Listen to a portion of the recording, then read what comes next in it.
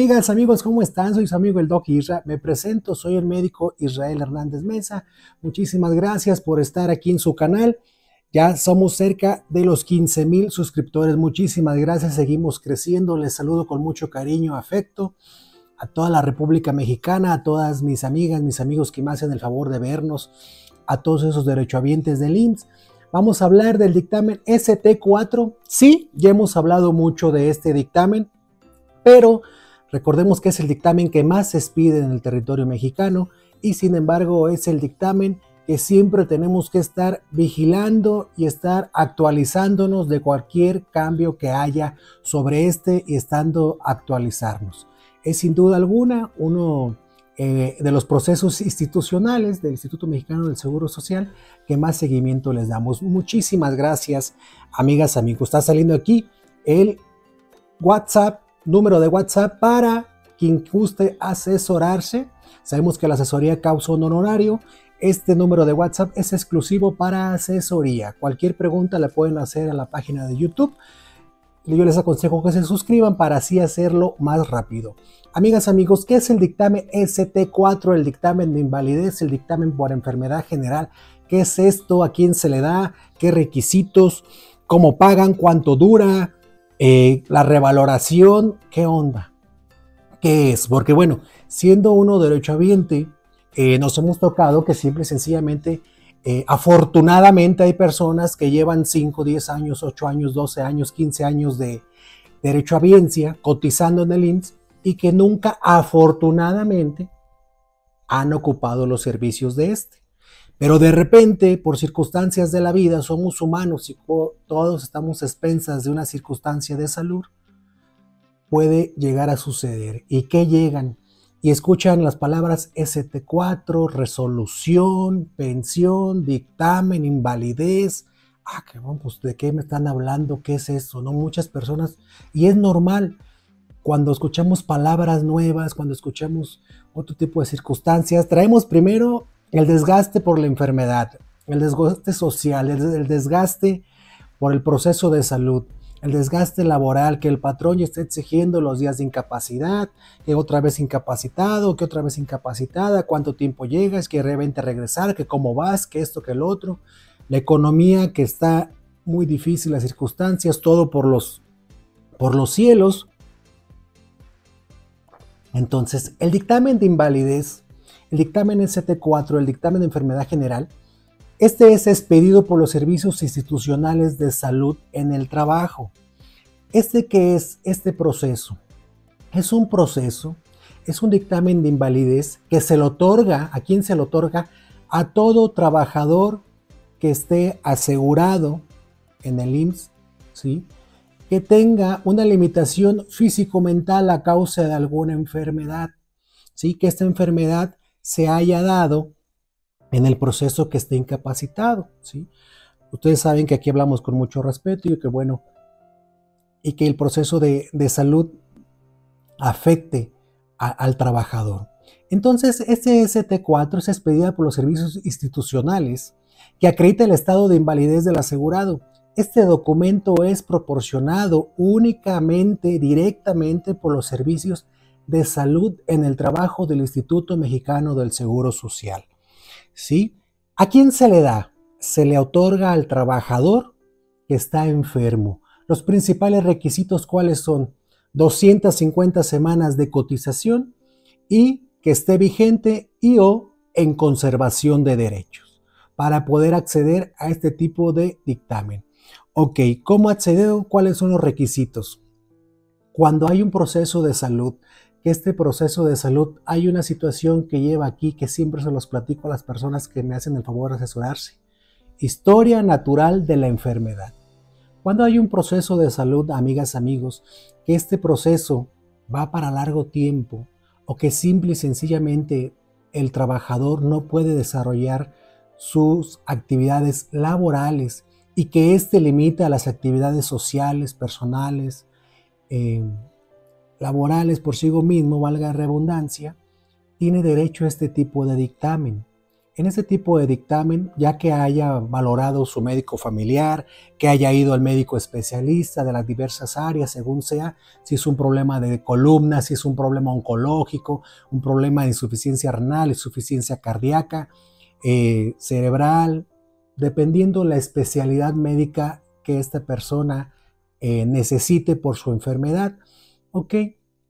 Hay que pedir resumen médico, una nota médica, ¿sí? al médico especialista, al igualmente el envío a salud del trabajo, los estudios de gabinete que se conoce como resonancias, tomografías, electromiografías, radiografías son de apoyo mínimo, pero pueden llegar a apoyar estudios de laboratorio de sangre y orina, ¿sí?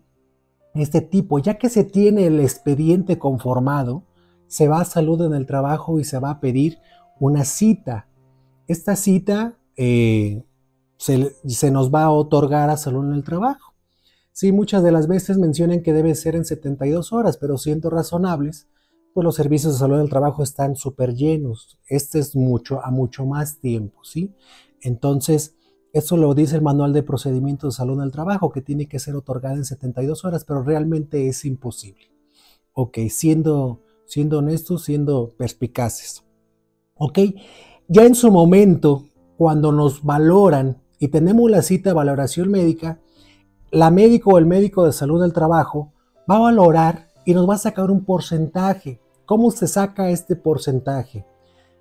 Hay una bibliografía que se llama baremo español. En el baremo español las diversas enfermedades, patologías tienen un porcentaje, ese porcentaje se va a sumar, se va a multiplicar, digámoslo así, con otros factores, como una entrevista que va a realizar la médico o el médico de salud del trabajo. Este también influye la edad y el puesto de trabajo del, de la paciente o el paciente, si es de alto esfuerzo, mediano esfuerzo o bajo esfuerzo. ¿Sí? Y va a ser una serie de preguntas. Estas son alrededor 70, 80 preguntas. Aparte, la exploración física que va a realizar la médico o el médico, dependiendo la enfermedad, la patología que tengamos, y o el estudio a nuestro expediente y las notas, las opiniones de los médicos especialistas. Ya que nuestro dictamen dé un porcentaje igual o mayor al 50%, va a estar aprobado, ¿sí? Del 50% al 74% se maneja una cifra económica que se nos va a pagar. Cuando hay el 75% y o más, se puede dar una situación que se llama asistencia social. Ojo, que este puede implicar hasta el 20% más. Esta asistencia social y este porcentaje, amigas, amigos, con todo respeto, ya esas personas que están malitas, personas que necesitan el apoyo de una tercera persona para las actividades de la vida diaria comer, vestirse, bañar, que comen por sonda, que usan pañal, todo este tipo de circunstancias. Ustedes me entienden.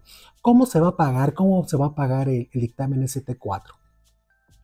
En porcentaje y en resumen, se hace un una cálculo de las últimas 200 semanas, 250 semanas cotizadas y se va a pagar el 35% de manera mensual, ¿sí? Al paciente. El paciente tiene el derecho de asegurar a sus señores padres, cónyuge e hijos hasta 16 años. Cabe recalcar que la cónyuge necesita presentar la acta de matrimonio y o el juicio conyugal. Ya eh, lo que es unión libre, ya nos están pidiendo estos requisitos. El que haya una acta de matrimonio y o el que haya un juicio conyugal. ¿Cuánto dura este dictamen? Por lo regular, el, Instituto Mexicano del Seguro Social, el 85% de las veces, primeramente te da un dictamen por dos años, ¿sí? 24 meses, ¿sí? Que este se va a revalorar tres meses antes, 90 días antes de la ficha de término. Si tu dictamen se termina el 15 de mayo, ejemplo, se me vino a la mente esa fecha, Tres meses antes tienes que presentarte al instituto con tu médico familiar para que empieces una vez más a hacer los trámites, el resumen médico que te valora el médico especialista, los estudios de laboratorio y todo para que lleves una, única, una vez más tu expediente fresco, digamos así, tu expediente más activo a salud en el trabajo y se te pueda revalorar. Es muy factible que ya en esta valoración, subrayo esto amigas, amigos, es muy factible que en esta valoración se te pueda dar el dictamen definitivo. No esté escrito que ya se te va a dar, ya me revaloraron, ya me toca definitivo. No. Definitivo puedes tener hasta cuatro o cinco dictámenes, eh, perdón, temporales. Puedes tener hasta cuatro o cinco dictámenes por dos años. ¿Sí?